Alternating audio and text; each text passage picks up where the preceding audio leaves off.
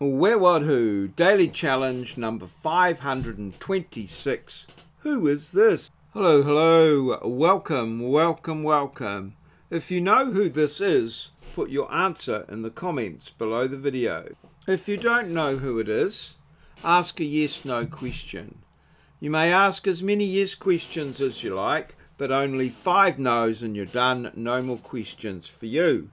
You will have to wait until tomorrow and if nobody answers correctly then I'll be making a new video with a hint and well you get to have another go.